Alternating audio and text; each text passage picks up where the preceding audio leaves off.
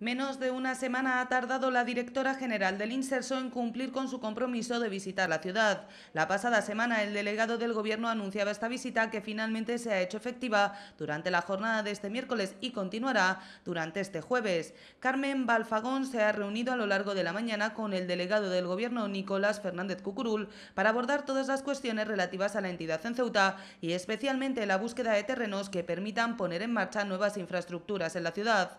A lo largo de la jornada de este miércoles, la directora general del Inserso ha visitado el Hospital Militar, la Residencia Gerón y el Centro para Personas con Discapacidad de Cruz Blanca. A estas visitas se sumará durante este jueves la que se realizará al Centro Social del Mayor. Balfagón también tiene previsto en su agenda mantener un encuentro con el consejero de Fomento, Néstor García, con quien abordará algunos de los asuntos que atañen a ambas administraciones.